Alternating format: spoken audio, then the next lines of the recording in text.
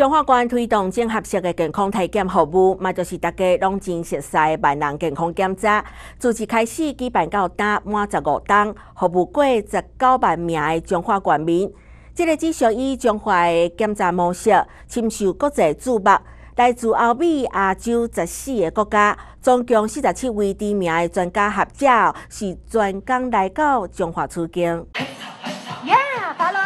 迎接来自世界各国的公共卫生专家学者，卫生局每一个科室的同仁，用趣味的方式来介绍家己的业务。就因为中华关按十五年前开始推动万人健身，那做好官民，更加成为国际瞩目的社区健康服务模式，才会吸引这么多国家的学者来观摩。We're very grateful to the government of Taiwan and the people. We have learned so much in this visit. 他们这个很感谢这一次来我们的政府哈，还有我们地方政府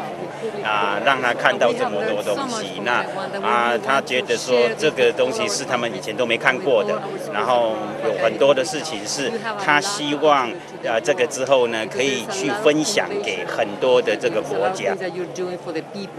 我们继续做下去，那很多全世界的人会接过我们这个专家们。会来我们彰化起居，那我们彰化的经验会变成全人类呢追求更长寿、更健康的生活呢。馆长王惠美表示，今年办三十一张次的万人健诊，和国民提早发现疾病、提早治疗，目标就是要让乡亲有更较好的健康，过更较好的日子。